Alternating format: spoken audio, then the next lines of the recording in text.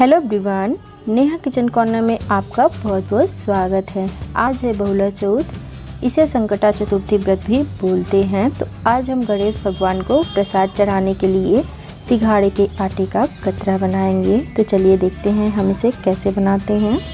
तो अब हम एक कढ़ाई में दो चम्मच के करीब देसी घी डाल के उसे चूल्हे में रख देंगे और उसमें सिघाड़े का आटा डाल देंगे।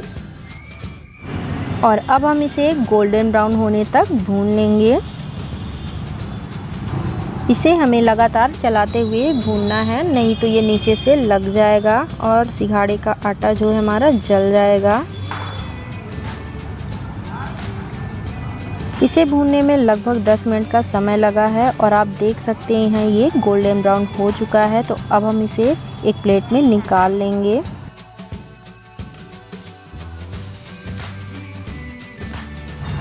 अब हम इसमें थोड़ा थोड़ा करके पानी डालेंगे ताकि इसमें लम्स ना बने। और इसका हमें एक घोल बना के तैयार करना है। जैसे हम कढ़ी का घोल बनाते हैं ना कढ़ी बनाने के लिए, ठीक उसी प्रकार हमें इसका भी एक घोल बना के तैयार करना है।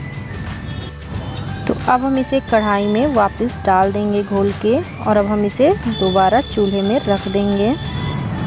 और अब हम इसे लगातार चलाते हुए पकाएँगे जब तक यह गाढ़ा नहीं हो जाता है।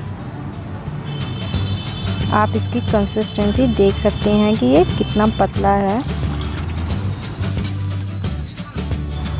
तो अब हम इसमें शक्कर डालेंगे। तो शक्कर की जो क्वांटिटी है, जितना हमारा सिंघाड़े का आटा होता है उतनी ही हमें डालनी है।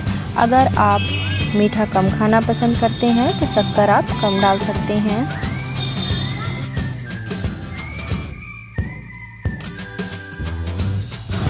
तो ये देखिए फ्रेंड्स, इसे लगातार चलाते हुए 15 मिनट हुए हैं और ये देखिए इसका एक गाढ़ा मिक्स बन के तैयार हो गया है।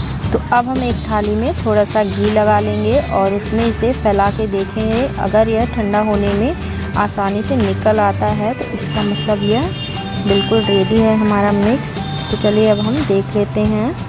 तो इसका हम कतरा बना रहे हैं। इसे हमारे यहाँ कतरा बोलते हैं। अभी ये आसानी से नहीं निकल रहा है तो अभी हम इसे दो मिनट के लिए और पका लेंगे लो फ्लेम में। तो ये देखिए फ्रेंड्स हमने इसे दो मिनट तक पका लिया है। तो चलिए, अब हम इसे थाली में फैला लेते हैं।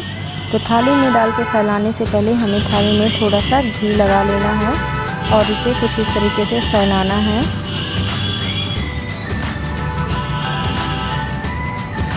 और इसे ठंडा होने के लिए छोड़ देना है। जब यह ठंडा हो जाएगा तो इसकी हमें अब पीसेस कट कर लेना है। तो फ्रेंड्स अब यह ठंडा हो चुका है तो अब हम इसके छोटे छोटे पीसेस कट कर लेंगे। आप इसे किसी भी व्रत में बना के खा सकते हैं, बहुत ही ज़्यादा टेस्टी लगता है। आप इसे एक बार ज़रूर बना के ट्राई करें और बहुत ही आसानी से बन के तैयार हो जाता है।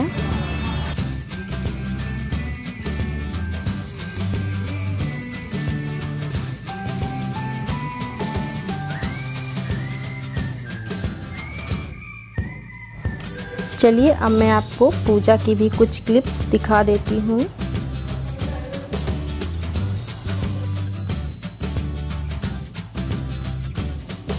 मेरा एक पैर वाला फ़ोटो होगा देख लो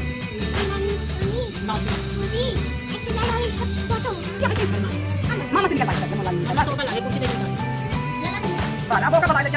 हाँ